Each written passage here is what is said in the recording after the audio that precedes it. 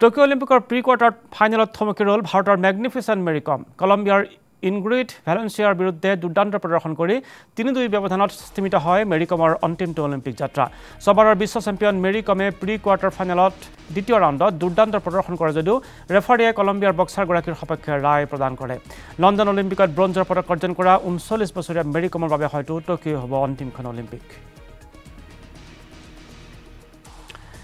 ইফালে টকিঅ' অলিম্পিকত ভাৰতৰ বাবে আহিছে এটা ভাল খবৰ। বেডমিণ্টনত মহিলাৰ ছিংগলছৰ কোৱাৰ্টাৰ ফাইনেলত প্ৰৱেশ কৰিছে ভাৰতৰ number one shuttler P V সিন্ধুৱে।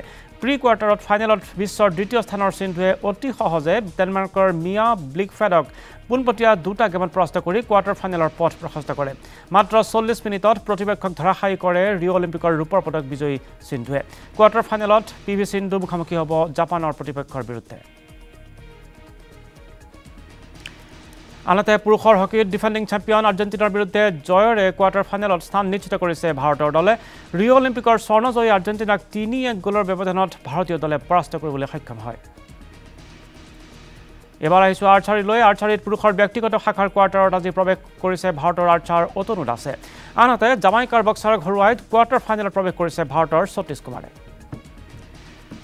এইবাৰ আহিছোঁ সম্পূৰ্ণ পদক তালিকালৈ বৰ্তমানলৈকে পোন্ধৰটা সোণ চাৰিটা ৰূপ আৰু পাঁচটা ব্ৰঞ্জৰ পদকেৰে তালিকাৰ শীৰ্ষস্থানত আছে জাপান দ্বিতীয় স্থানত আছে চীন আৰু তৃতীয় স্থানত আছে আমেৰিকা। এটা ৰূপৰ পদকেৰে ভাৰতৰ স্থান হৈছেগৈ ছয়চল্লিছ নম্বৰ স্থান।